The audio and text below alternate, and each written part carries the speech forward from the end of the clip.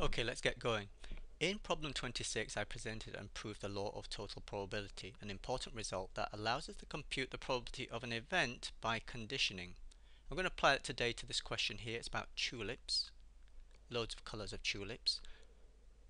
As usual with questions, read it through, lay out the notation, draw some pictures, help you understand what's going on. We have a box. It's got two types of bags.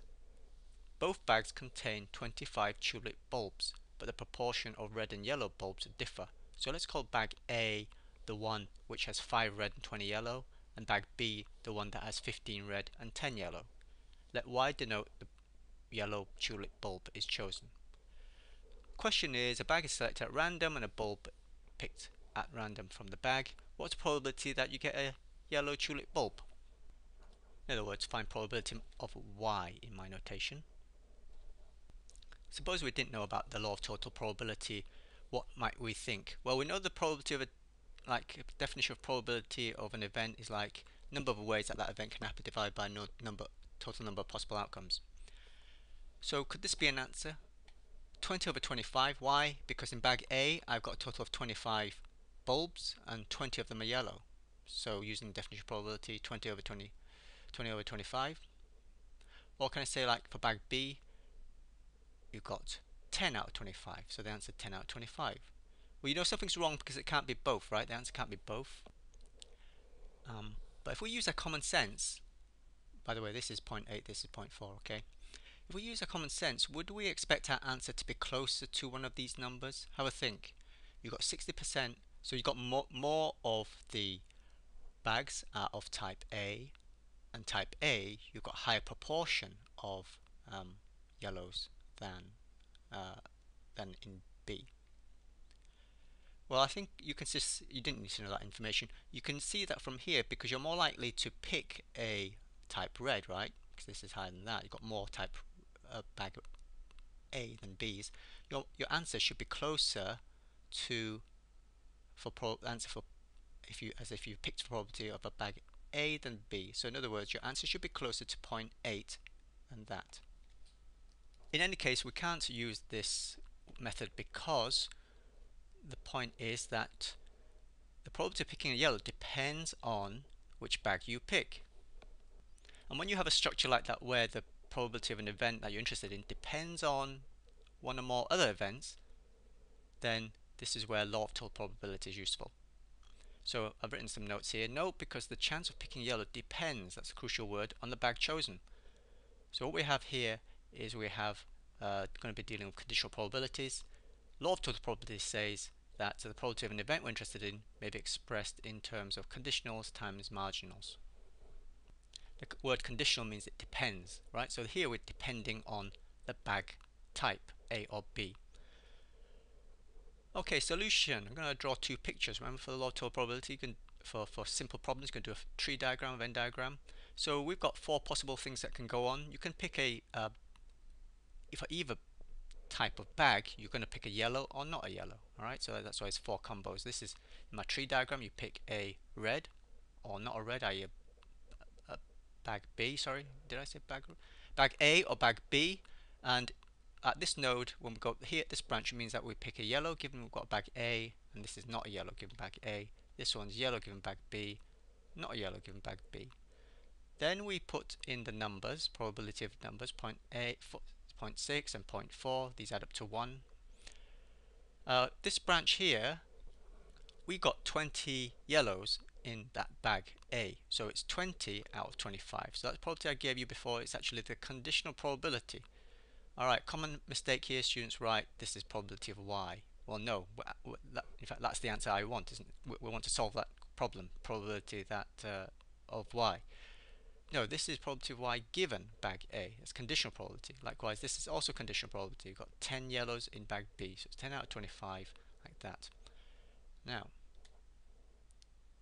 so what law of total probability says is, if I just use the tree diagram, is that I want probability of yellow, just basically multiply all the branches that contain the event yellow, so that times that, is this. The key thing actually is that I'm after the joint probability. So this is saying that it is bag A type and you've picked a yellow, right? And we wanted that, but we can get that in terms of conditional times the marginal. If you remember this, you might remember this as the form of um, in the formula probability of A given B equals probability of A and B divided by probability of B, supposing probability of B is bigger than zero. So all I've done is I've just rearranged it so I've got the joint. This amounts to multiplying the numbers on the branch to get to the tip there, so that times that. Okay, that's the number. Similarly for B, type bag type B, that times that gives me that. Of course there are two other num probabilities, that one and that one, but I'm not interested in those because they don't involve y. These are not y's, you see. Okay, and then what I do to get the probability of y is I just add the probabilities. So that plus that gives me the answer. Right, and that's the answer.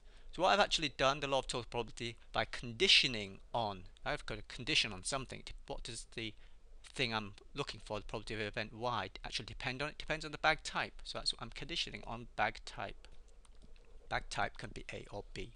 So that's this is what this says. It's basically A and yellow, and this is B and yellow. We express in terms of conditionals and marginals. So I get 0.64 and as I said it should be closer to 0.8 than 0.4 and indeed it is so that looks right. If I made an error let me know. If I get a number that's outside this interval of 0.4 or 0.8 that's definitely wrong right so if I get 0.3 or 0.9 I know something's something's wrong in the calculation. If I get something closer to 0.4 then there's something dodgy there as well. Guys it can happen to us because um, you know I mean with um, what do we have here? We've got yellow and red. We've got bag A and B. Well you know after a while when we're doing these things we can lose concentration. We can start thinking about other things like blue balls and red balls and things like that alright we basically lose track of what we're actually doing. So anyway that's a way to check your answer. Another way to depict this is via a Venn diagram.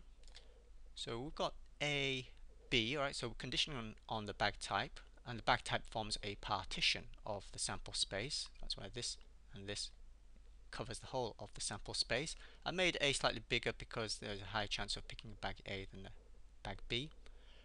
This circle here represents, remember it's all abstract this, this circle here represents uh, picking a yellow and it can be decomposed into two disjoint pieces.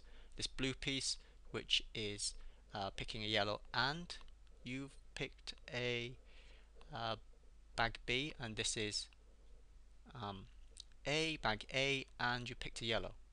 These two pieces added together give me the probability of probability of yellow. So to emphasize guys, law of total probability important because this is where we have um, we want to calculate probability of an event but that event depends on other things and this is the nature of um, the world we live in you know. Uh, things are inter uh, are dependent. One thing depends on some other things. So when we build probability models we we uh, have to look at to see whether there's some kind of dependencies. If they're not then the events are independent then the calculation is even simpler. We won't need the law of total probability. Okay guys that's it